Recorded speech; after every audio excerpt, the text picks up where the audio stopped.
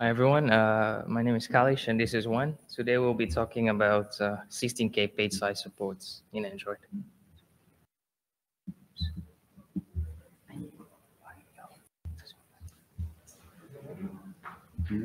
Okay. So basically, it's like why 16K page sizes, right? Right now, most of the mobile devices they have ARM, and basically ARM supports 4K, 16K, and 64 eh, 64K page sizes, right?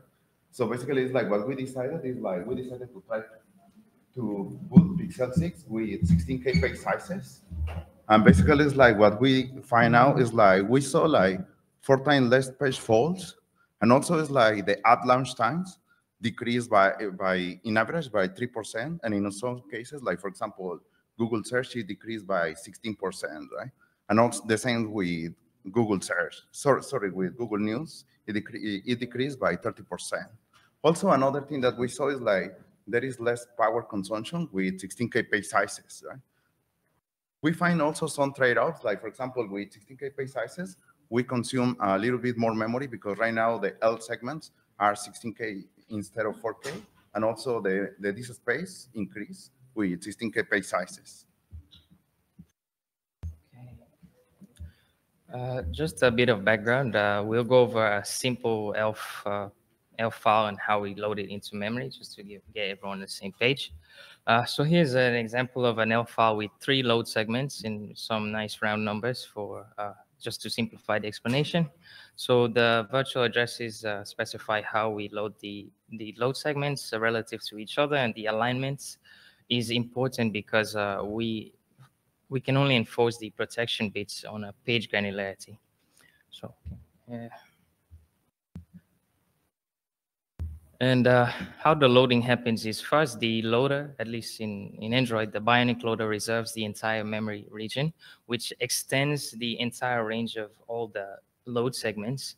And then we map in each segment uh, based on the vAddr. Here we are just using a load bias of zero for simplicity and there can be some padding in between the segments. This is just for the alignment requirements. However, with uh, 16K page size, we need to we need to increase the alignment to at least be uh, at least be 16K, uh, at least page size. Else, we else there are permission overlaps on the same page, and we cannot we cannot enforce that. so the same thing happens again. We reserve the memory region for all the segments, then we map in each segment and uh, we have the padding uh, to for the alignment requirement now 16k so there is a bit more fragmentation and uh, since the pages are larger and a bit bit more uh, va space usage. However uh, historically android has always uh, always uh, aligned ELF files to only 4K alignment. So we cannot simply change the page size. So we need to first migrate the ecosystem to have a larger ELF alignment. Then that will allow us to change the page size. So this leaves us with a situation where we have 4K page size uh, system with a larger ELF alignment, 16K. And this is an issue because it introduces another problem. When we map in each segment, the segments are uh, only rounded up by the page size. So what happens is the original reserved mapping is split, the VMA is split, and we have uh, an extra PROT_NONE mapping between each segment. So this leads to a slab memory increase. In, in Pixel 8, we found about uh, 25 to 30 megabytes increase after boot. Uh, yeah, there are multiple ways we could uh, fix this uh, problem, maybe even in the in the static linker, but we, we two approaches we explore in the Bionic loader we can do at uh, dynamically at load time. Is one is we could unmap these extra VMAs, which leads to some you know additional system calls and some overhead and additional complexity in the in the loader. But another approach, perhaps simpler, is to extend each VMA to the end of each uh, load segment VMA to the beginning of the next uh, load uh, load segment VMAs. So this is uh, conceptually not that different from the gap that already exists from the end of the the segment end to the 4K next 4K boundary. Instead, it's just to the next 16K boundary. Yeah, so basically it's like with 16K page sizes, if we want to run a 4K app, it won't run, right? So we try to find several solutions. And the first solution that we explore is like basically it's like instead of having every segment to have its own permissions, like for example, read only, read write, and read execute, what we did is like we memory map um, uh, basically a region, and then we mark all that region as a read write executable. And basically it's like that works. We, we were able to run 4K apps in 16K page size kernel, but there is security implications with this approach. The next solution that we try is like, basically we try to do binary analysis to convert one 4K share library to a 16K share library. And in order to understand what it changed, it's like we have to write like basically a parser that compare stroke by stroke of the different ELF, ELF sections. And then it's like we found that basically the global offset table, the PLT, the PLT section change, like the dynamic section change. And yeah, and basically it's like we, we were not successful with this approach. Next one. Oh yeah. So the next thing is like we're going to talk about the driver issues. So basically it's like one of the, in Pixel we are using, Pixel 6 we are using a UFS controller. And this, when we try to boot Pixel 6 with 16K page sizes, what we found is like, the, basically the, we found an error like, oh, the partitions are not found. So after digging further, like we, real, we realized that the UFS controller didn't implement the host controller interface, the standard. So basically, like this host controller interface standard says that you have to use segments larger or equals to the page size. But for this UFS controller, we, uh, basically it requires to use segments smaller than the page size. So basically BAR Asher provides some patches to fix that. But it's like we have some problems of streaming them because it's like the patches fix are hacky. Uh, basically a hardware that didn't implement a standard. Yeah, also another issue that we have is that with the trusty driver. So here, here's the thing, in the, in the ARM architecture, you have several exception levels. And starting from EL1, EL2, and EL3, every level can have different page table granule. So here's the thing is like when the kernel tries to talk with the firmware that is executing in EL3, it's like the kernel has one page size granule and the firmware has a different page size granule.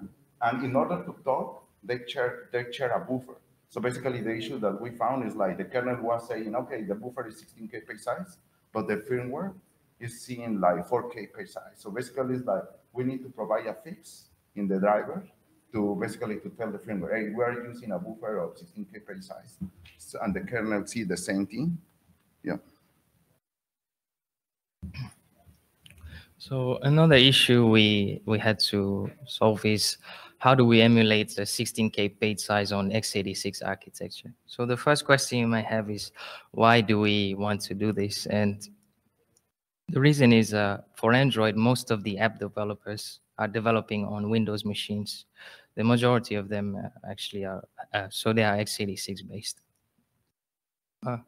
Uh, and uh, running the ARM64 emulator for Android on, on, on on x86 is extremely slow, so it's even impractical for some of these developers to do. So we need to provide a testing environment for uh, for the developers to be able to test and support 16K in their apps. The way we are going about this is to, we have a modified uh, x86 kernel which presents to user space a 16K page size However, under the hood, the kernel is still using 4K page size. And uh, the way we do this is by uh, like emulating the 16K behavior. So the VMAs are, are always uh, ensured to be 16K aligned and the 16K multiple size, which uh, and and the any syscall that operates on memory regions like mprotect or mmap uh, and and friends also have these requirements. Uh, so just just one. Uh, I want to share one interesting uh, situation that we need to handle for this emulation to work. So uh, the imagine you have a file which is less than the page size. In this case, in the illustration is two kilobytes, and you mmap it. So what you get is some page-sized uh, multiple chunk of uh, VA space. In this case, it's just 4K, one page. If you if you access anywhere on that file, it falls in the page However, if you access anywhere after the two kilobyte, it also falls in the same page because this corresponds to the same uh, page size offset in the file, zero. Uh, you can write on that extra region, but it doesn't persist to the file. So in the 16K, uh, in the 16K uh, emulated case, we, we need to, since the kernel emulates the 16K page size, we have, instead of just a you know, 4K memory area, we have 16K KB sized. So if we touch anywhere in the four, uh, in the first 4 KB uh, section, is the same behavior as 4K. However, if we touch anywhere uh, after 4 kilobytes, what happens is the kernel will try to fault in another 4K page, which at some offset, which doesn't, which is off the end of the file. So it will give us a SIGBUS. So the way we are uh, handling this is by we detect this situation and we we we replace that region with an anonymous mapping, so which gives us the similar behavior.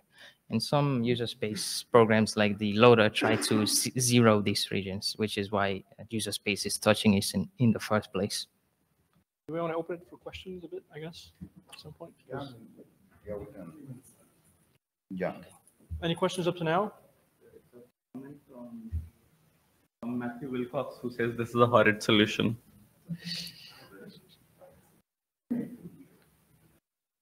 Uh, Okay. So, All right, so go, go on. If somebody's got a question, uh, but go on. Yeah. Yep. Uh, is the solution like back compatible 4K? Like, let's say you ship Android with all these fixes, and somehow we decide to still keep 4K. Is this still back compatible to 4K? well, basically, it's like we are looking for a solution where we can have a 16K page size kernel that can run 4K apps. I mean, we, we have some solutions, but this like probably they are not very optimal. So we are still exploring the, the best solution for this case. So we present like, for example, one solution that align all the all the segments to read write, read, sorry, that set the permissions to read write executable, and with that with that we can run the apps. But it's like basically it's like it has security implications.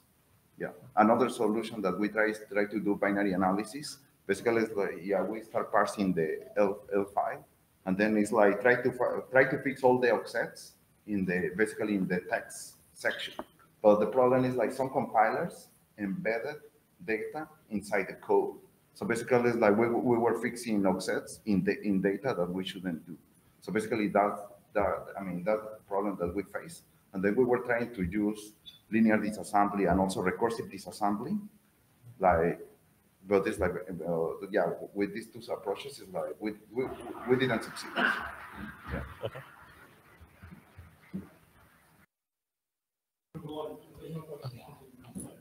Oh yeah, so basically the last the last thing that we're going to talk is about basically it's like we 4K page sizes and, and pixel. It's like we we can we have 39 b, uh, 39 bits virtual addresses, and then we have three level page walks.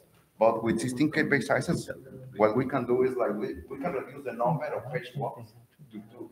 So basically, so basically it's like this this brings us a better performance on top of the basically it's like we get two percent better performance on top of the 16K page size performance that we get. But this like yeah, but basically it's like when we were trying to build like uh, so, sorry, I'm sorry, there's a comment on the on the chat there.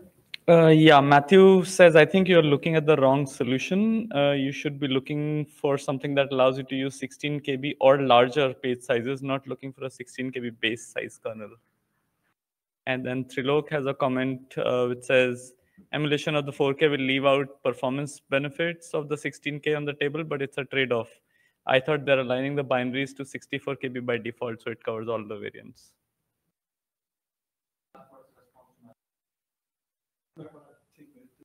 Yeah, we're gonna have to take it offline because there are about 30 seconds left unless there's last thing you want to say here.